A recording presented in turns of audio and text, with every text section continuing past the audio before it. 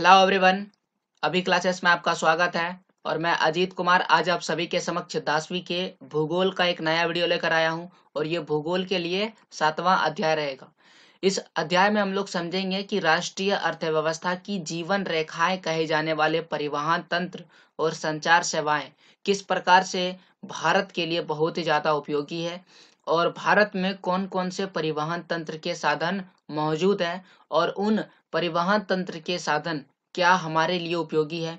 और फिर हम लोग समझेंगे कि इन सभी क्षेत्रों में से कौन सा क्षेत्र ऐसा है जिनका विकास आवश्यक है ताकि इसमें रोज़गार का सृजन हो सके। चूँकि परिवहन तंत्र और संचार सेवाएँ अर्थव्यवस्था में बहुत ही महत्वपूर्ण भूमिका निभाती है, इसीलिए इसे राष्ट्रीय अर्थव्यवस्था की जीवन रेखा कहते हैं। यह पूरा वीडियो एक प्रकार का एनसीईआरटी सॉल्यूशन है। इसका अर्थ यह है कि आप अपनी परीक्षा की तैयारी किसी भी बोर्ड से कर रहे हैं। आपके बोर्ड में एनसीईआरटी बुक चलती है। यह पूरा वीडियो आपके लिए बहुत ही ज़्यादा उपयोगी है। इस वीडियो को आप पूरा देखें, क्योंकि मैंने पूरा अध्याय एक ही वीडियो में समाप्त कर दिया है। Full chapter in one video इसके लिए आपको पार्ट वन पार्ट टू ढूँढने का ज़रूरत नहीं पड़ेगा। तो इस वीडियो को अंत तक ज़रूर देखें। तो आइए अब हम लोग समझते हैं राष्ट्रीय अर्थव्यवस्था की जीवन रेखा। पूरी प्रक्रिया है, यह परिवहन पर आधारित है। अब एक कल्पना कीजिए कि कोई भी वस्तु मांग स्थल से आपूर्ति स्थल पर अपने आप नहीं पहुँचती है। अब उसे क्या करना पड़ता है? उन्हें हमें पहुंचाना पड़ता है।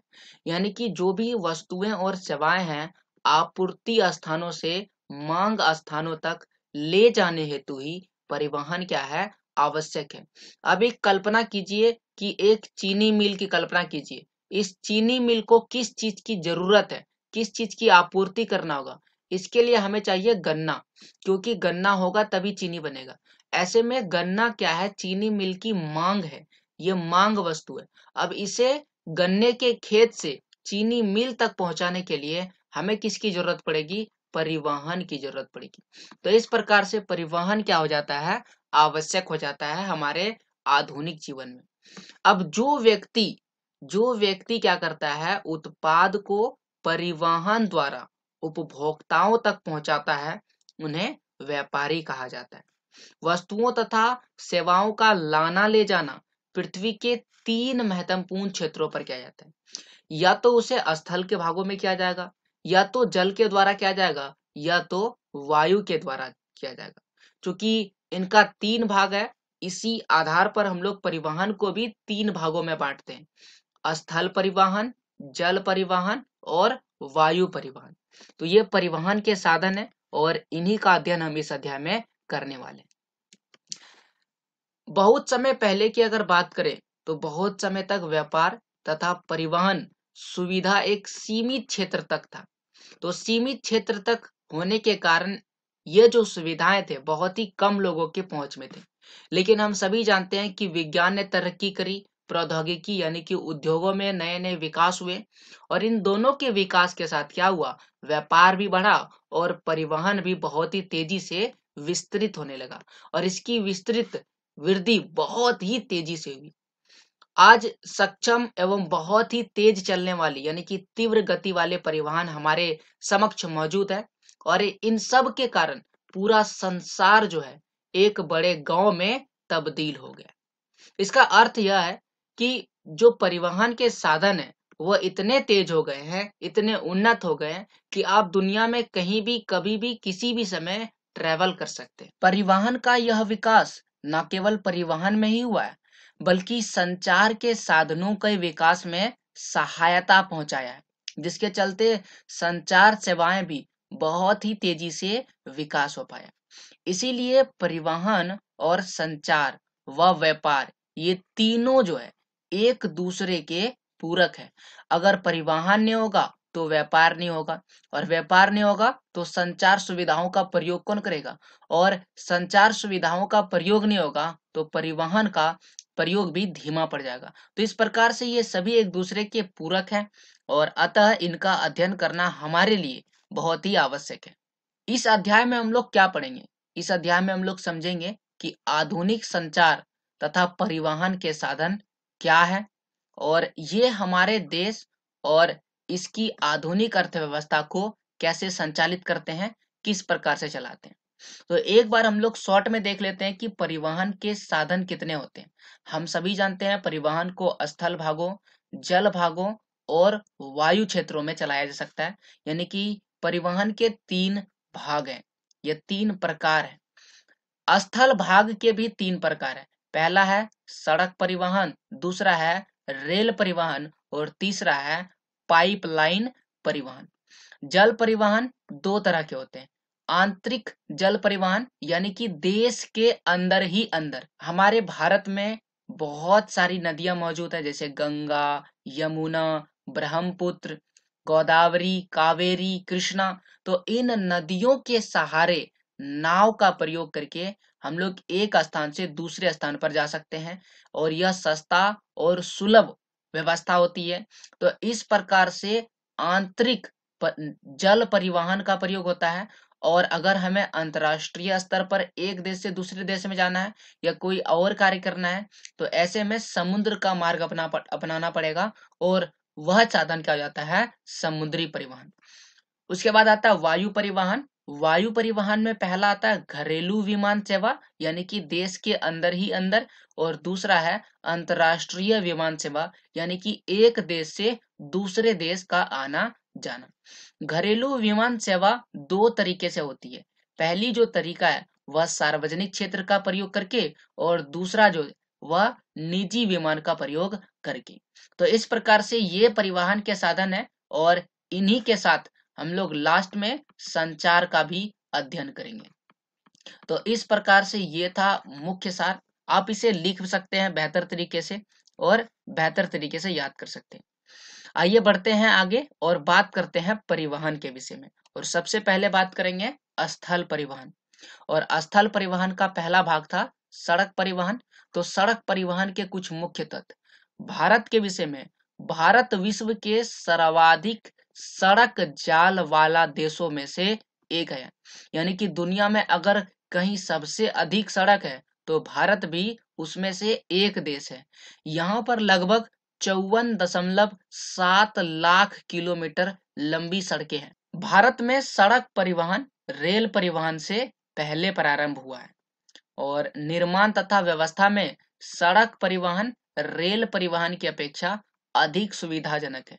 किसके विषय में? निर्माण निर्माण तथा व्यवस्था की दृष्टि से सड़क परिवहन सुविधाजनक है, रेल परिवहन की अपेक्षा। अब सड़क परिवहन के विषय में कुछ और चीज़ें जान लेते हैं कि ये किस प्रकार से सड़क परिवहन जो है, वह रेल परिवहन से अलग है और रेल परिवहन से अच्छा साधन है। यह परीक्षा में आता है। तो निम्न कारणों से यह अलग है। सबसे पहले कि रेलवे लाइन की अपेक्षा सड़कों की निर्माण लागत बहुत ही कम है। जितना लागत रेलवे लाइन बिछाने में लग जाता है, उससे कहीं कम पैसों में सड़क का निर्माण किया जा सकता है। अपेक्षाकृत उबड़ खाबड़ व विच्छिन्न भूभाग पर सड़कें बनाई जा सकती है, यानी कि खराब जगहों या उबड़ खाबड़ जगहों, जैसे कि झारखंड की बात करें, पहाड़ी क्षेत्र या फिर और कोई ऐसा क्षेत्र है जहाँ पर बहुत सारा जंगल है या फिर उबड़ खाबड़ क्षेत्र है तो उस क्षेत्रों में भी क्या किया जा सकता है? सड़कें बनाई जा सकती है। अधिक ढाल, अगर कहीं अधिक ढाल है, जैसे हिमालय का क्षेत्र या फिर पहाड़ी क्षेत्रों, उन क्षेत्रों में भी सड़कों का निर्माण किया जा सकता है। कम व्यक्तियों के लिए, अगर कहीं कम व्यक्ति निवास करता है या फिर कम दूरी तय करना है, कम वस्तुओं के परिवहन के लिए सड़कें बनाई जा सकती है। लेकिन रेलवे का निर्माण तभी होगा जब बहुत सारे व्यक्तियों की ज़रूरत होगी। अब सड़क जो है, वो आपके घर तक आपको पहुँचा सकती है, जबकि रेलवे घर तक नहीं पहुंचाएगी, केवल स्टेशन तक छोड़ेगी। तो इस प्रकार से जो सड़क परिवहन है, वह घर घर सेवाएँ हैं।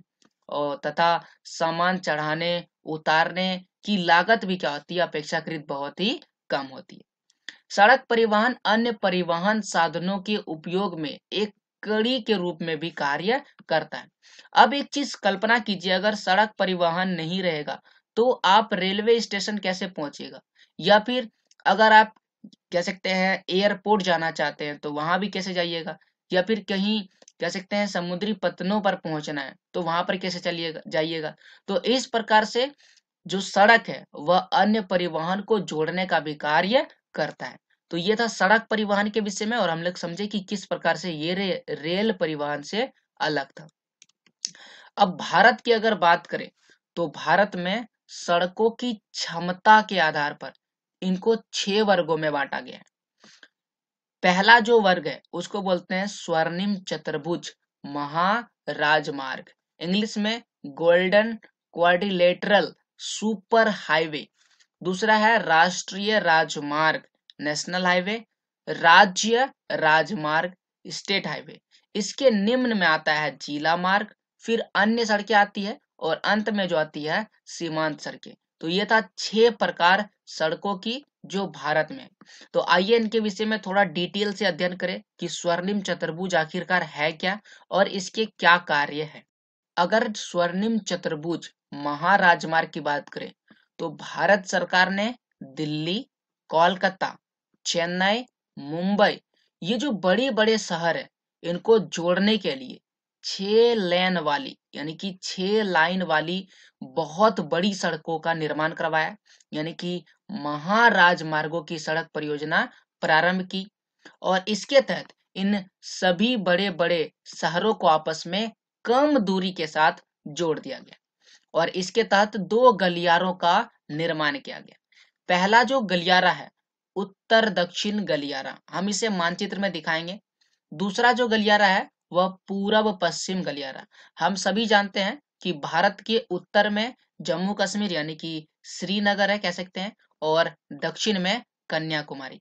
तो ये जो कन्याकुमारी है, इसकी दूरी को कम करने के लिए श्रीनगर से कन्याकुमारी, यह उत्तर दक्षिण गलियारा का निर्माण करवाया गया। और पूरब से पश्चिम तक की दूरी को कम करने के लिए असम, जो सिलचर से प्रारंभ होता है और गुजरात में पोरबंदर तक खत्म होती है, ये पूरा पश्चिम गलियारा का निर्माण करवाया। तो इस प्रकार से दो गलियारा निर्माण हुआ। अब इसका प्रमुख उद्देश्य हम लोग जानते हैं, जो मेगा सिटी है, यानी कि जो मेगा सिटीज़ होते हैं, उनके मध्य दूरी व परिवहन के समय को कम करने के लिए इसका निर्माण करवाया गया। यह राजमार्ग परियोजना भारत के राष्ट्रीय राजमार्ग प्राधिकरण के अधिकार क्षेत्र में है। यानी कि इसका रख रखाव यही करते हैं एन एच ए आई अब आइए हम लोग बात करते हैं राष्ट्रीय राजमार्ग के विषय में। राष्ट्रीय राजमार्ग देश के दूरस्थ भागों, यानी कि देश में वैसे स्थान जो बहुत ही दूर दूर है, उनको जोड़ने का काम करते हैं। ये प्राथमिक सड़क तंत्र है जिसका निर्माण व रख रखाव केंद्रीय लोक निर्माण विभाग सी पी डब्ल्यू डी के अधिकार क्षेत्र में है। अनेक प्रमुख राष्ट्रीय राजमार्ग उत्तर से दक्षिण तथा पूरब से पश्चिम दिशाओं में फैले हैं।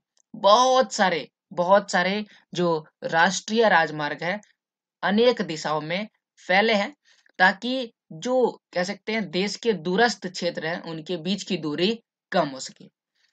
दिल्ली व अमृतसर के बीच में एक बहुत ही ऐतिहासिक सड़क है और इस ऐतिहासिक सड़क का नाम है शेरशाह सूरी मार्ग। और यह राष्ट्रीय राजमार्ग संख्या एक है।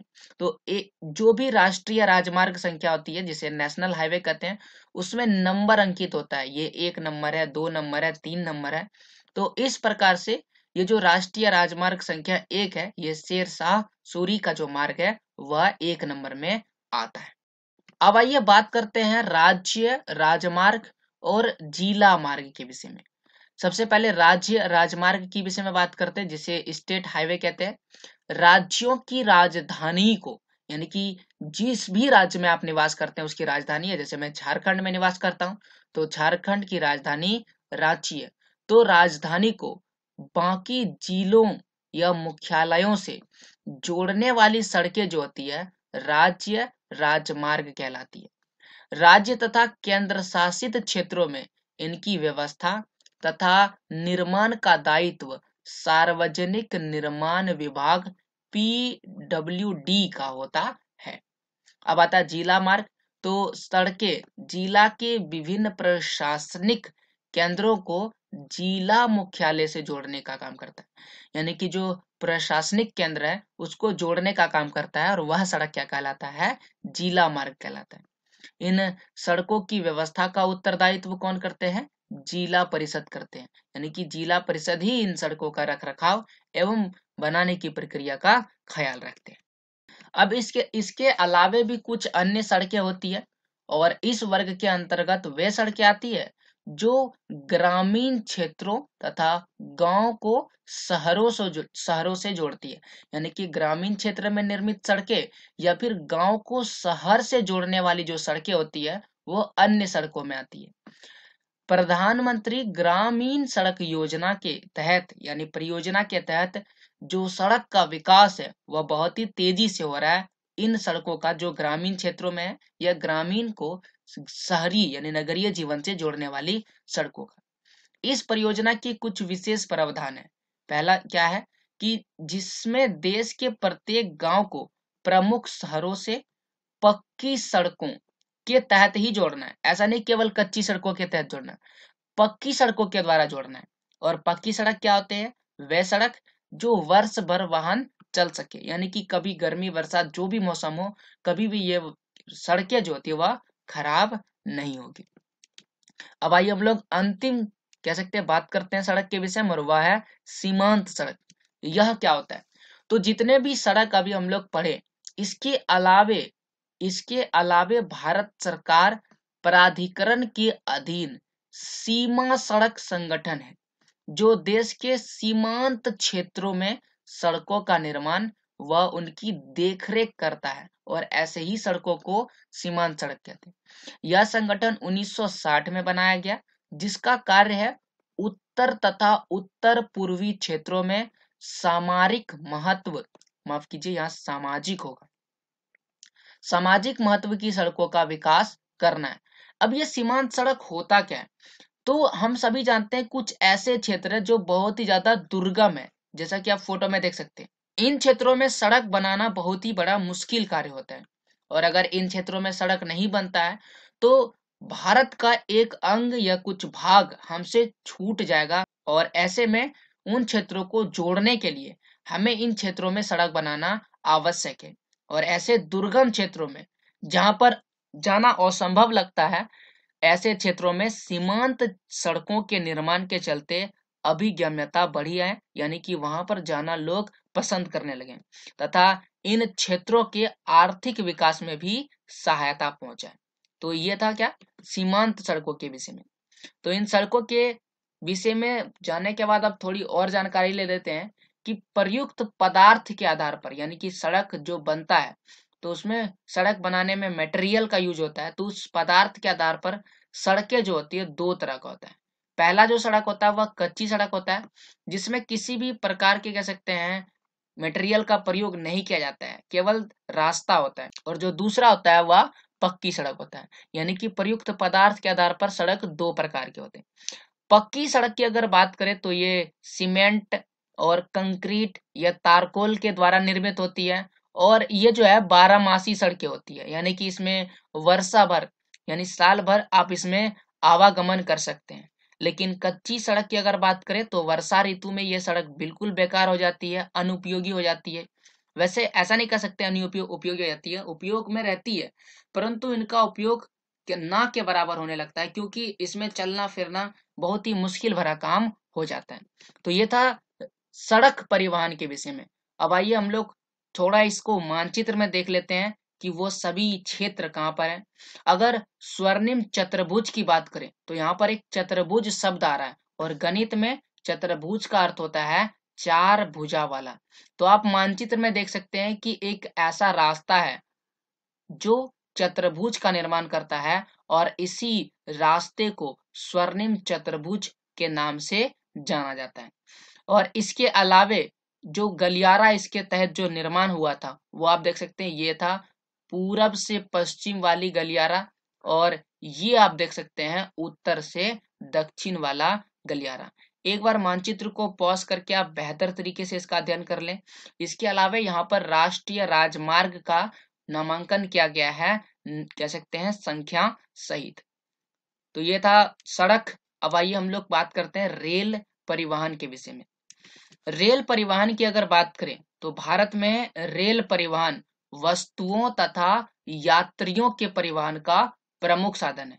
रेल परिवहन अनेक कार्यों में सहायक है, जैसे व्यापार में सहायक है, लोग घूमने के लिए जाते हैं, एक स्थान से दूसरे स्थान पर बहुत बड़ी दूरी तय करते हैं तो भ्रमण के लिए या तीर्थ यात्राओं के लिए व बहुत ही लंबी दूरी तक सामान व परिवहन के लिए रेल परिवहन बहुत ही ज़्यादा उपयोगी है। एक प्रमुख परिवहन साधन के अतिरिक्त पिछले 150 वर्षों से भी अधिक समय से भारतीय रेल एक महत्वपूर्ण समन्वयक के रूप में भी जानी जाती है। यानी कि 150 वर्ष से भी ज़्यादा समय तक भारतीय रेल हमारे लिए काम कर रहा है। भारतीय रेलवे देश की अर्थव्यवस्था में भी महत्वपूर्ण योगदान देते हैं। देश के जितने भी उद्योग हैं, उनको कच्चा माल ले जाने, ले आने, उनके लिए जो आपूर्ति होती है ईंधन की, उन सभी चीज़ों की आपूर्ति कौन करते हैं? रेल परिवहन करते हैं। और रेल परिवहन के तहत कृषि में भी बहुत ही बड़ी वृद्धि हुई है। और इन तीनों को बहुत ही तीव्र गति से विकास मिला है और इन सब के लिए उत्तरदायी कौन होता है? रेलवे परिवहन। तो ये था रेल परिवहन। अब रेल परिवहन के विषय में अन्य बातों को थोड़ा समझते हैं कि रेल परिवहन जो है, उसको बहुत सारे ऐसे कारक हैं जो परिवहन को प्रभावित कर रहे हैं वितरण, यानी कि उसको बड़ा होने में। जो पहला कारण है, वह भू आकृति और दूसरा है आर्थिक और तीसरा है प्रशासनकीय कारक। अगर भू आकृति के विषय में बात किया जाए भारत में बहुत सारे ऐसे क्षेत्र हैं जहाँ पर रेलवे का निर्माण किया ही नहीं जा सकता है। या वहाँ पर रेलवे का निर्माण करना बहुत ही कठिन है या वहाँ पर बहुत ही ज़्यादा लागत लगता है क्योंकि पहाड़ी क्षेत्र है, पहाड़ को काटना, जंगलों को काटना, ये सारी चीज़ें आपदाएँ हैं जो प्रभावित करती है। तो इस प्रकार से भारत की जो भू आकृति है, इसके चलते रेलवे का विस्तार कम हो पा रहा है। रेलवे के विकास में इन क्षेत्रों में अगर विकास करना होगा तो अत्यधिक पैसे के निवेश करना होगा तो इस प्रकार से आर्थिक कारक भी दूसरा बहुत ही महत्वपूर्ण कारक है। और जो शासक है, वह भी इसके विकास पर ज़्यादा ध्यान नहीं देता है तो इस प्रकार से रेलवे के विकास में जो शासक है, उसका भी महत्वपूर्ण योगदान होता है। तो ये वो तीन कारक है जो रेलवे के विकास को प्रभावित करता है। अब आइए रेलवे से जुड़े कुछ महत्वपूर्ण तथ्यों के विषय में बात करें। कुछ वर्ष पहले भारत के महत्वपूर्ण आर्थिक क्षेत्र में पश्चिमी तट के साथ कोंकण रेलवे के विकास हुआ। यानी कि जो पश्चिमी तट है, उनके साथ साथ कोंकण के क्षेत्र में भी रेलवे का विकास हुआ। इससे क्या हुआ? इससे यात्री व वस्तुओं के आवागमन में सुविधाजनक हो गया। तो इस प्रकार से हम लोग देखते हैं कि रेलवे का जब विकास होता है तो वस्तुओं व यात्रियों का आवागमन सुविधाजनक हो जाता है। परंतु इसके विकास में बहुत सारी अड़चने आती है सामने। यद्यपि असंख्य समस्याएँ भी हुई, क्योंकि यह जो क्षेत्र है, जिसकी बात कर रहे हैं पश्चिमी घाट और कोंकण क्षेत्र, यहाँ पर भूस्खलन होता है और बहुत सारी अन्य समस्याएँ होती है, जैसे कि बहुत सारा ऐसा क्षेत्र होता है जहाँ पर ट्रैक जो होता है वह धस जलने लगता है। तो इस प्रकार से इन समस्याओं के बावजूद भी यहाँ पर रेलवे का विकास हुआ और इन समस्याओं के चलते यहाँ पर आर्थिक प्रहार होता है, जिसके चलते बहुत सारी हानियाँ होती है। और इतना ही नहीं, आज अगर अर्थव्यवस्था में परिवहन की बात करें तो अन्य परिवहन साधनों के अपेक्षा रेल परिवहन प्रमुख साधन हो गया है और अर्थव्यवस्था में, भारतीय अर्थव्यवस्था में रेल परिवहन का बहुत ही बड़ा योगदान है। लेकिन फिर भी रेल परिवहन बहुत सारी समस्याओं से जूझ रहा है। अभी भी बहुत सारी समस्याओं से रेलवे परिवहन मुक्त नहीं हुआ। सबसे पहली और अहम जो है, वह है बिना टिकट यात्रा करना। बहुत बार ऐसे यात्री होते हैं जो बिना टिकट यात्रा करते हैं। हम उन यात्रियों के विषय में नहीं, उन व्यक्तियों के विषय में नहीं बोल रहे हैं जो रेल में कुछ सामानों को बेचने के लिए सफ़र करते हैं। उन व्यक्तियों के विषय में बात कर रहे हैं जो यात्रा करता है, लेकिन वो बिना टिकट का यात्रा करता है। तो ऐसे में उन रेलवे को बहुत ही बड़ा नुकसान होता है और बहुत बार रेल की संपत्ति को हानि की जाती है या उनको चोरी की जाती है और इन समस्याओं से भी रेल पूरी जो, कह सकते हैं, समाप्त नहीं हुआ और ये सारी जो हानियाँ हो रही है और जंजीर खींचना जो बहुत ही महत्वपूर्ण मुद्दा है। बहुत बार यात्री क्या करते हैं, कहीं भी जहाँ पर उनको उतरना है, अनावश्यक रूप से जंजीर को खींच देते हैं और इस प्रकार से गाड़ी को रोक देते हैं, जिससे बहुत ही भारी हानि उठाना पड़ता है रेलवे को। तो ये वो समस्याएँ हैं जिनसे आज रेलवे, भारतीय रेलवे मुक्त नहीं हो पाया। तो हमें सहयोग करना चाहिए इन समस्याओं से निपटने के लिए ताकि इनका ज़्यादा से ज़्यादा विकास हो सके और अर्थव्यवस्था में अत्यधिक महत्वपूर्ण योगदान दे सके। पाइपलाइन परिवहन। पाइपलाइन परिवहन होता क्या है? सबसे पहले पाइपलाइन का प्रयोग हम लोग शहरों एवं उद्योगों में पानी पहुँचाने के लिए करते थे। लेकिन आज इसका प्रयोग हम लोग अन्य क्षेत्र में कर रहे हैं, जो बहुत ही बड़ा योगदान है। इसका प्रयोग तेल व पेट्रोल या फिर कह सकते हैं, जैसे उत्पादों को तेल से प्राप्त प्राकृतिक तथा गैस क्षेत्र से उपलब्ध गैस शोधनशालाओं तक उसको पहुँचाया जाता है। या फिर उर्वरक कारखानों में बड़े ताप विद्युत गृह तक इनको पहुँचाया जाता है। तो इन सभी क्षेत्रकों तक पहुँचाने के लिए हम लोग किसका उपयोग करते हैं? पाइपलाइन का प्रयोग करते हैं। अब इस चीज़ को बेहतर तरीके से समझिए, एक ठोस पदार्थ को हम क्या करते हैं? तरल अवस्था में बदल देते हैं। हम सभी जानते हैं कि ठोस को तरल अवस्था में बदला जा सकता है। तो ठोस को हम लोग तरल अवस्था में बदल देते हैं और इसको बदलने के बाद इसको पाइप के द्वारा हम इसको अपने स्थान तक पहुँचा देते हैं, जहाँ तक इसे पहुंचाना है। तो इस प्रकार से पाइपलाइन परिवहन का प्रयोग किया जाता है। सुदूर आंतरिक भागों में स्थित शोधनशालाएँ, जैसे कि बरौनी, मथुरा, पानीपत तथा गैस पर आधारित उर्वरक कारखानों की स्थापनाएँ पाइप लाइनों के जाल के कारण ही संभव हो पाया। यानी कि जो शोधनशालाएँ या फैक्ट्रियाँ या उद्योग बहुत ही दूर है, वहाँ तक पहुँचाने में कौन उपयोगी है? पाइपलाइन परिवहन। अब एक चीज़ पाइपलाइन के विषय में यह है कि पाइपलाइन को बिछाने में बहुत ही ज़्यादा लागत लगता है। लेकिन प्रारंभिक लागत तो अधिक है, यानी कि पहले तो अधिक खर्च लगता है। लेकिन इसको चलाने में, जिसको रनिंग कह सकते हैं रनिंग चलाने का जो लागत है, बहुत ही न्यूनतम है। क्योंकि एक बार आप पाइप लाइन को बिछा देते हैं, उसके बाद आपको कोई भी कार्य नहीं करना पड़ता, केवल रख रखाव और देख रेख करना होता है। और बाकी ये खुद ब खुद आपको केवल तरल अवस्था में डाल करके इसको प्रभावित कर देना है। तो इस प्रकार से पाइपलाइन में प्रारंभिक लागत तो अधिक है, लेकिन इसे रनिंग लागत जो है वह बहुत ही कम है। वाहनांतर देरी, जो अगर हम किसी वस्तु को वाहन के द्वारा एक स्थान से दूसरे स्थान पर जाएँ तो उसमें बहुत ही ज़्यादा देरी होती है। उसके बाद हो सकता है बीच में कुछ हानियाँ हो जाए तो इस प्रकार से वाहनांतर देरी या होने वाली हानियाँ जो होती है, वह बिल्कुल ना के बराबर होती है, नहीं के बराबर होती है। तो इस प्रकार से पाइपलाइन परिवहन जो है, बहुत ही बेहतर व्यवस्था है। पाइपलाइन परिवहन की अगर बात करें तो भारत में तीन प्रमुख पाइपलाइन परिवहन के जाल हैं।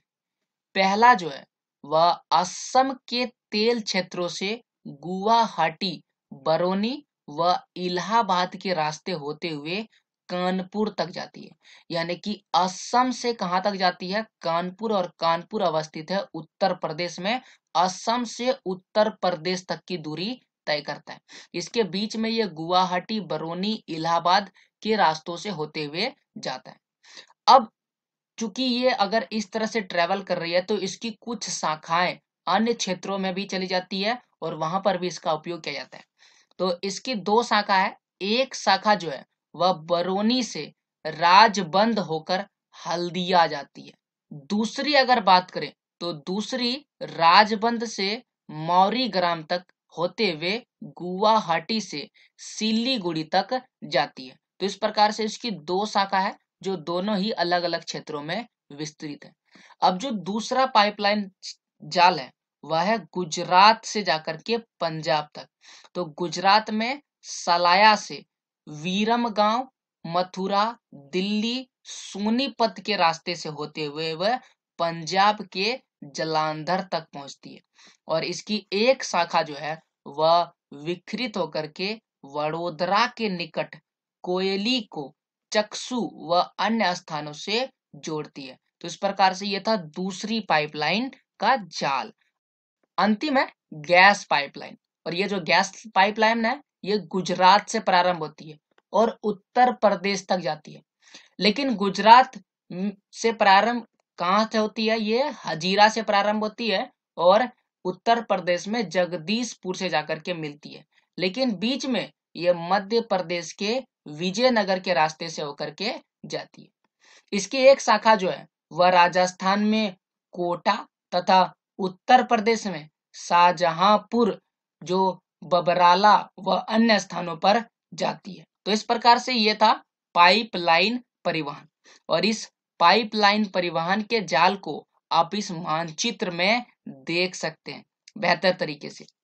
तो आइए हम लोग आगे बढ़ते हैं और समझते हैं अन्य परिवहन को। तो अब बात करते हैं जल परिवहन के विषय में। जल परिवहन भी बहुत ही महत्वपूर्ण परिवहन है। भारत के लोग आज से नहीं, बल्कि प्राचीन काल से ही जल परिवहन का उपयोग समुद्री यात्रा के दौरान करते थे। इसके नाविक दूर तथा पास के क्षेत्रों में भारतीय संस्कृति व व्यापार को फैलाया है। तो इस प्रकार से जल परिवहन के विषय में यह था। अब जल परिवहन के विषय में कुछ मुख्य तथ्य यह है कि जल परिवहन जो है, परिवहन का सबसे सस्ता साधन है। यह भारी सामानों को, स्थूल काय वस्तुओं को ढोने में अनुकूल है। यह परिवहन संसाधनों में ऊर्जा सक्षम है तथा पर्यावरण के अनुकूल है।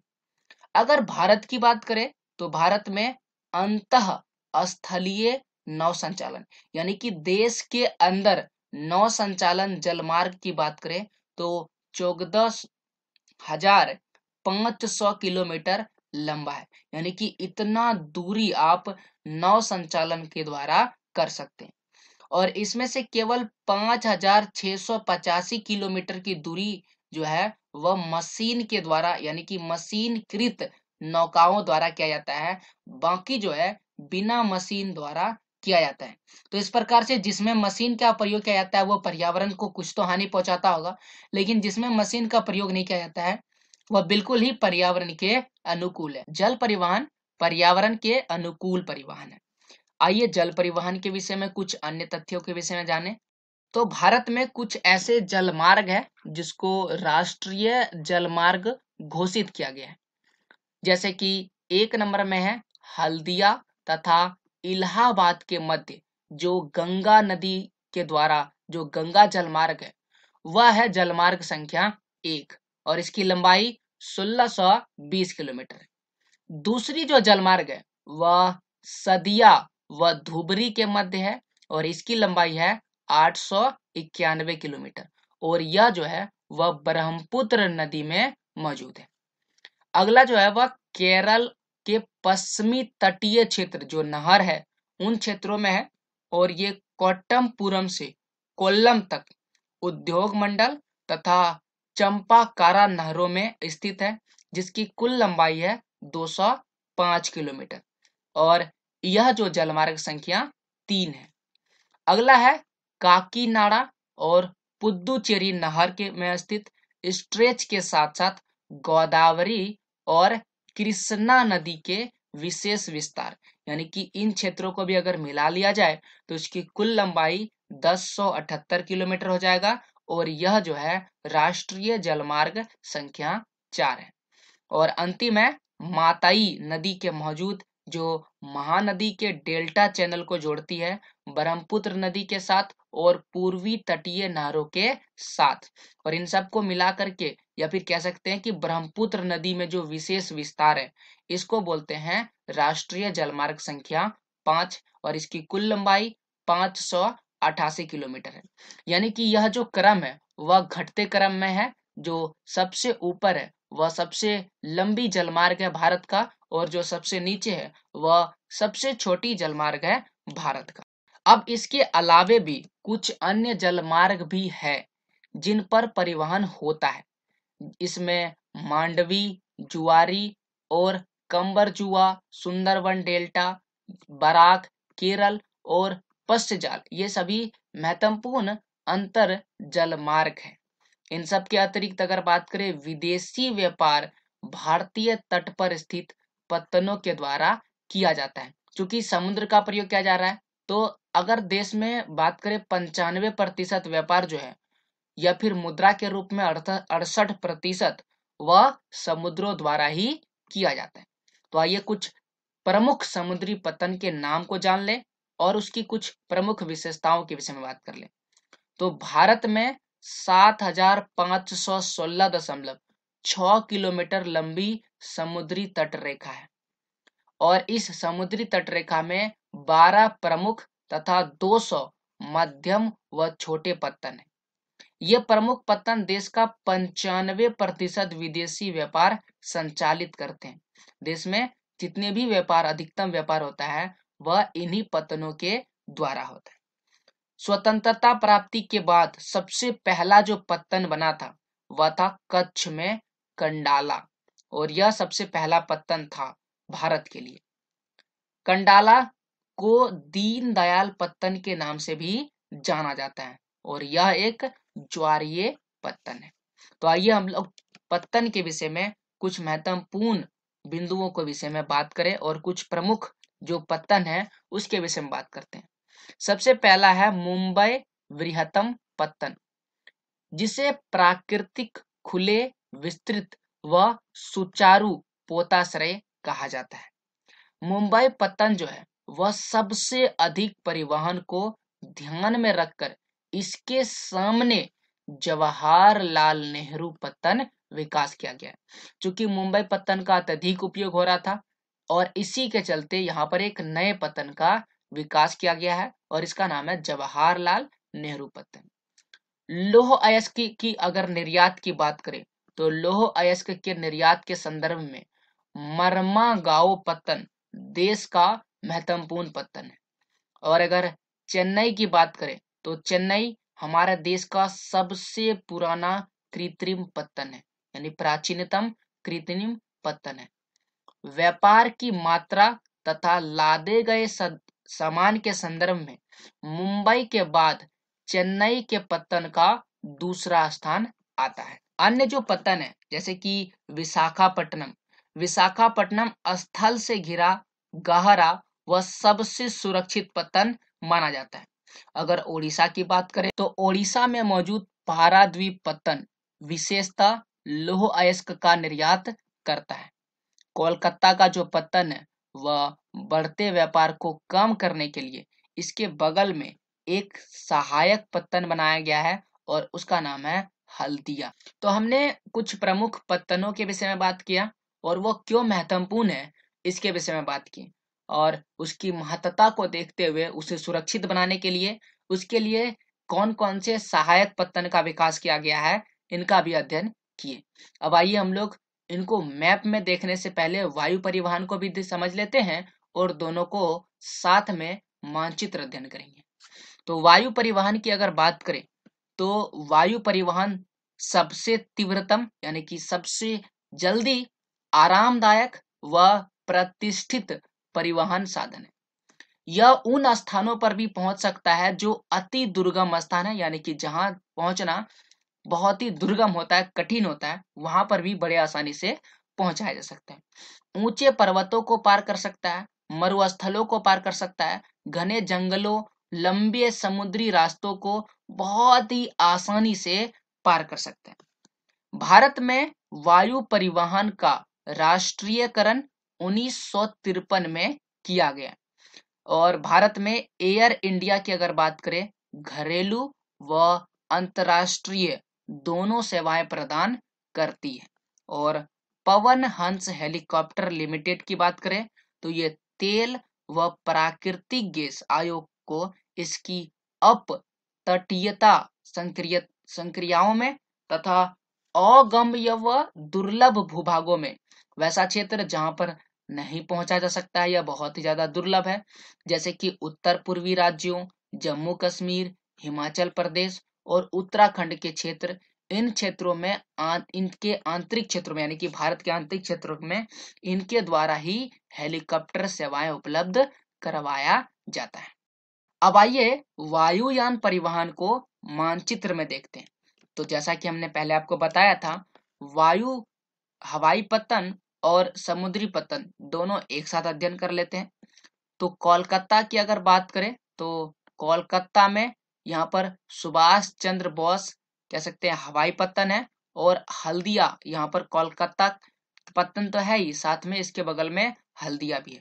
उड़ीसा में पारादीप समुद्री पत्तन है और विशाखापट्टनम में विशाखापट्टनम समुद्री पत्तन है। फिर आता है चे, चेन्नई में कह सकते हैं समुद्री पत्तन उसके बाद आता है जो मुंबई की बात करें तो मुंबई में छत्रपति शिवाजी हवाई पत्तन है और जवाहरलाल नेहरू यहाँ पर समुद्री पत्तन का विकास किया गया है और यहाँ पर आप गुजरात में कंडाला को देख सकते हैं। और ये रहा इंदिरा गांधी अंतरराष्ट्रीय हवाई पत्तन जो दिल्ली में मौजूद है। तो इस प्रकार से कुछ अन्य समुद्री पत्तन और हवाई पत्तन इस मानचित्र में दिया गया है। आप इसे बेहतर तरीके से देख लें। अगर कहीं समस्याएँ हो तो आप हमें कमेंट कर सकते हैं। अब आइए हम लोग आगे बढ़ते हैं और समझते हैं संचार सेवाओं के विषय में। जैसा कि हम सभी जानते हैं कि जब मानव पृथ्वी में आया तो उन्होंने विभिन्न प्रकार के संचार माध्यमों का प्रयोग किया। लेकिन अगर आधुनिक समय की बात करें तो आधुनिक समय बहुत ही बदल चुका है और यह बहुत ही तीव्र गति में है। आज आप विभिन्न दूर संचार तथा जनसंचार, जैसे कि दूरदर्शन, रेडियो, समाचार पत्र, समूह या फिर प्रेस, सिनेमा, बहुत सारे प्रमुख जो है, संचार का प्रयोग कर सकते हैं, जो देश के प्रमुख संचार में से एक है। भारत में सबसे बड़ा जो संचार तंत्र है, वह है डाक। यानी कि भारत का जो डाक सेवा है, वह संचार का सबसे बड़ा तंत्र और विश्व में जितने भी बड़े बड़े संचार तंत्र है, उसमें से भारत का डाक संचार भी एक आता है। भारत का जो डाक संचार है, यह पार्सल, निजी पत्र, व्यवहार तथा तार इन सभी चीज़ को संचालित करता है और इसको दो तरीकों में विवाद करता है। जो पहली श्रेणी है, पहली श्रेणी में कार्ड व लिफाफा बंद चिट्ठी आता है, चूँकि यह बहुत ही महत्वपूर्ण होता है, इन्हें पहुंचाना, बहुत ही जल्दी पहुंचाना होता है। ऐसे में जो पहली श्रेणी की जो जो कह सकते हैं, डाक सेवाएँ होती है, उनको वायुयान द्वारा एक स्थान से दूसरे स्थान पर पहुँचाया जाता है द्वितीय श्रेणी में डाक में रजिस्टर पैकेट, किताबें, अखबार तथा मैगनी, मैगजीन्स शामिल है क्योंकि इनका प्रयोग कुछ समय बाद भी किया जा सकता है और इसीलिए इसे धाराटल, धारातलीय डाक द्वारा पहुँचाया जाता है तथा इसके लिए स्थल भाग, जल परिवहन का भी प्रयोग किया जाता है। अगर बड़े शहरों व नगरों की बात करें तो बड़े शहरों और नगरों में डाक संचार शीघ्रता हेतु, यानी कि जल्दी पहुँचाने हेतु, छह डाक मार्ग बनाया गया है। जो पहला है राजधानी मार्ग, मेट्रो चैनल, ग्रीन चैनल, व्यापार चैनल, भारी चैनल तथा दस्तावेज़ दस्ता, दस्तावेज़ चैनल। तो इस प्रकार के विभिन्न प्रकार के चैनलों का निर्माण किया गया है। शहरों व नगरों में जल्दी शीघ्रता से डाक संचार सेवाओं को पहुँचाने के लिए। दूर संचार तंत्र की अगर बात करें तो दूर संचार में भारत एशिया महाद्वीप का अग्रणी है, यानी कि एशिया महाद्वीप में सबसे आगे भारत है। दूरदर्शन की बात करें तो दूरदर्शन देश का राष्ट्रीय समाचार व संदेश का माध्यम है, तथा विश्व के सबसे बड़े संचार तंत्र में से एक है। यह विभिन्न आयु वर्ग के व्यक्तियों को मनोरंजन, ज्ञानवर्धक व खेल जगत के संबंधित कार्यक्रम प्रसारित करता है दूरदर्शन। तो यह था भारत की संचार सेवाओं के विषय में। आइए अब संचार सेवाओं से जुड़े कुछ प्रमुख तथ्यों के विषय में विचार करते हैं। तो हम सभी जानते हैं सूचना में विकास हुआ, संचार क्षेत्र में विकास हुआ और अंतरिक्ष प्रौद्योगिकी में विकास हुआ, जिसके चलते नए नए रडार स्थापित किए गए। और इनके विकास से ही आज क्या हुआ? आज नगरीय क्षेत्रों के अतिरिक्त, न केवल शहरों में, बल्कि दो तिहाई से अधिक गाँव में भी एसटीडी की सुविधाएँ एसटीडी दूरभाषा की सेवाएँ उपलब्ध हो चुकी है। सूचनाओं के प्रसार के आधार स्तर से उच्च स्तर तक समृद्ध करने हेतु, यानी कि आधार स्तर मतलब कि सबसे निचला स्तर जो है, उससे लेकर के जो सबसे ऊँचा स्तर है, वहाँ तक सुधार किया गया। और इस सुधार के लिए भारत सरकार ने देश के प्रत्येक गाँव में 24 घंटे एसटीडी सुविधा प्रबंध किया है। पूरे देश भर में एसटीडी की दरों को भी नियमित किया है, ताकि सभी व्यक्ति एक बेहतर तरीके से एक दूसरे से संचार सेवाओं से जुड़ा रहे। अन्य तथ्य भारत में वर्ष भर अनेक समाचार पत्र, सामायिक पत्रिकाएँ प्रकाशित की जाती है और ये क्या है? ये एक प्रकार का संचार का भाग है। भारत में लगभग 100 भाषाओं तथा बोलियों में जो समाचार पत्र है, उसका प्रकाशन किया जाता है और सबसे अधिक किस भाषा में होता है? तो सर्वाधिक समाचार पत्र का जो प्रकाशन है, वह हिंदी में होता है और इसके बाद अंग्रेज़ी व हिंद उर्दू। अंग्रेज़ी व उर्दू प्रकाशित होने वाले समाचार पत्र का नंबर आता है।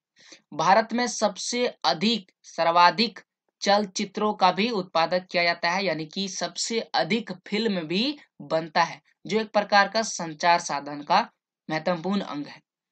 भारतीय व विदेशी सभी फ़िल्म, जितने भी फ़िल्में हैं, उनको प्रमाणित करने के लिए एक अधिकार केंद्रीय फ़िल्म प्रमाण बोर्ड, जिसे इंग्लिश में central board of film certification कहते हैं, इसका स्थापना किया गया है, जो यह देखरेख करता है कि प्रसारित होने वाली फ़िल्में भारत के नागरिकों के लिए बेहतर है या नहीं है। अब आइए हम लोग बात करते हैं अंतरराष्ट्रीय व्यापार के विषय में। अंतरराष्ट्रीय व्यापार क्या है? तो जब राज्यों व देशों में व्यक्तियों के बीच वस्तुओं का आदान प्रदान होता है तो उसे हम व्यापार कहते हैं। तो हम लोग समझे व्यापार क्या होता है। व्यापार कहाँ पर होता है? बाज़ार में होता है। तो कहता है कि बाज़ार एक ऐसी जगह है जहाँ विनिमय होता है, यानी कि वस्तुओं का आदान प्रदान होता है। तो यह था राज्यों के विषय में व्यापार क्या होता है। जब दो देश के मध्य व्यापार होता है तो उसे हम अंतरराष्ट्रीय व्यापार कहते हैं। अब दो देश के बीच व्यापार किस प्रकार से होता है? समुद्र के रास्ते, हवाई जहाजों के माध्यम से, स्थलीय मार्गों के द्वारा। तो यह वह साधन है जिसके द्वारा अंतरराष्ट्रीय व्यापार संभव है। अंतरराष्ट्रीय व्यापार समझ लिए तो इनके साथ दो अन्य शब्द आता है, स्थानीय व्यापार और राज्य स्तरीय व्यापार। इनको भी समझ लेते हैं। तो कहता है कि जब शहरों, कस्बों व गाँवों में व्यापार होता है तो उसे हम स्थानीय व्यापार कहते हैं, जबकि दो या दो से अधिक राज्यों के मध्य जब व्यापार होता है, तब उन्हें राज्य स्तरीय व्यापार कहते हैं। अगर एक देश के अंतरराष्ट्रीय व्यापार की प्रगति उसके आर्थिक वैभव का सूचक है, यानी कि जितना ज़्यादा अंतरराष्ट्रीय व्यापार होगा, उस देश का आर्थिक विकास उतना होगा। चूँकि ये जो आर्थिक विकास अंतरराष्ट्रीय व्यापार से जुड़ा है, इसलिए इसे राष्ट्र का आर्थिक बैरोमीटर भी कहा जाता है। तो अंतरराष्ट्रीय व्यापार को क्या कहते हैं? आर्थिक बैरोमीटर। अब आइए अंतरराष्ट्रीय व्यापार के कुछ प्रमुख तथ्यों पर विचार करते हैं। सभी देश अंतरराष्ट्रीय व्यापार पर निर्भर है, यानी कि दुनिया में जितने भी देश हैं, सभी देश अंतरराष्ट्रीय व्यापार पर निर्भर है। क्यों? क्योंकि संसाधनों की उपलब्धता क्षेत्रीयता है क्षेत्रीय है। इसका मतलब है कि जो सम, जो भी संसाधन है उसका वितरण असमान है। कहीं अत्यधिक कोयला मिलता है तो कहीं अत्यधिक लोहा मिलता है। तो ऐसे में अगर वस्तुओं का आदान प्रदान नहीं होगा और अंतरराष्ट्रीय व्यापार नहीं होगा तो एक व्यक्ति केवल एक ही वस्तु का उपयोग करता रह जाएगा और इसीलिए आयात और निर्यात दोनों ही महत्वपूर्ण है। और आयात और निर्यात व्यापार का बहुत ही महत्वपूर्ण घटक है। और इसीलिए आयात व निर्यात का अंतर ही किसी देश के व्यापार के संतुलन को निर्धारित करता है। अब दो संतुलन से जुड़े शब्दों पर विचार कीजिएगा। अगर निर्यात मूल्य, आयात मूल्य से अधिक हो जाएगा तो जो व्यापार है, वह संतुलन में रहेगा। और इसके विपरीत, अगर निर्यात की अपेक्षा अधिक आयात होने लगेगा तो व्यापार कैसा हो जाएगा? असंतुलित हो जाएगा। अगर भारत की बात करें तो भारत में बहुत सारी ऐसी चीज़ें है, जिसका निर्यात किया जाता है। जैसे कि रत्न, जवाहरात, रासायन और इससे संबंधित उत्पाद या फिर कृषि या कृषि से संबंधित उत्पाद का निर्यात किया जाता है। अब भारत में कुछ चीज़ों का आयात भी किया जाता है। बहुत सारे ऐसे वस्तुओं का आयात किया जाता है, कच्चा पेट्रोलियम का आयात किया जाता है, तथा विभिन्न प्रकार के उत्पाद, रत्न व जवाहरात, आधारित धातु, मशीनें, कृषि व अन्य उत्पाद, इन सभी चीज़ों का आयातित भी किया जाता है। तो यह था अंतरराष्ट्रीय व्यापार और उससे जुड़े कुछ तथ्य। अब आइए बात करते हैं पर्यटन के विषय में। पर्यटन एक व्यापार के रूप में विकसित हो सकता है। भारत ने यह अनुभव किया, जो पर्यटन उद्योग है, बहुत ही महत्वपूर्ण है। और पिछले तीन दशकों में भारत ने इसमें बहुत ही ज़्यादा वृद्धि कर दिया भारत में बहुत सारे ऐसे लोग हैं, जो पर्यटन उद्योग में लगे हुए हैं, संलग्न है। आप ऐसे कह सकते हैं कि यहाँ पर इनको रोज़गार मिल रहा है।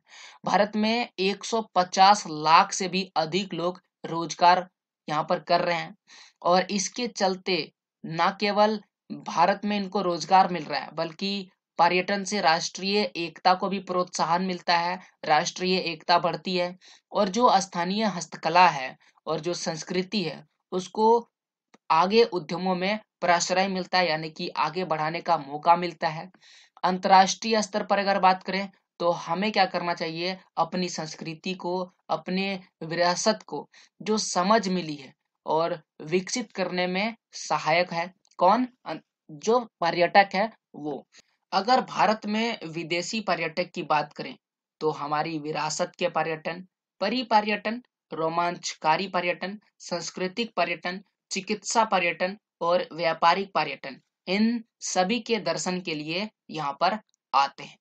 देश के बहुत सारे ऐसे भाग हैं, जहाँ पर पर्यटन की अपार संभावनाएँ हैं, जिनको आप विकास करके लोगों को आकर्षित कर सकते हैं और इनके विकास हेतु और विभिन्न प्रकार के पर्यटन को बढ़ावा देने हेतु विभिन्न प्रकार के प्रयास किए जा रहे हैं।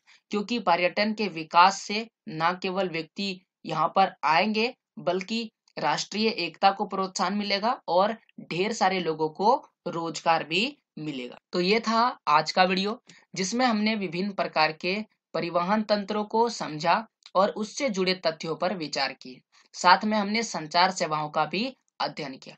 उम्मीद करते हैं पूरा वीडियो आपको बेहतर समझ में आया होगा। अगर आपको वीडियो बेहतर समझ में आया है तो आप इस चैनल को सब्सक्राइब कर सकते हैं और वीडियो को भी लाइक कर दीजिएगा। आप इस तरह के वीडियोस के पीडीएफ के लिए अभी क्लासेस को टेलीग्राम में फॉलो करें और मुझसे जुड़े पर्सनल सवालों के लिए आप मुझे इंस्टाग्राम और फेसबुक पर फॉलो कर सकते हैं। आपको लिंक डिस्क्रिप्शन में मिल जाएगा। अन्य वीडियोस के लिए आप हमारे चैनल पर ज़रूर विज़िट करें। यहाँ पर ही मैं अपना वीडियो समाप्त करता हूँ। जय हिंद, जय भारत, वंदे मातरम।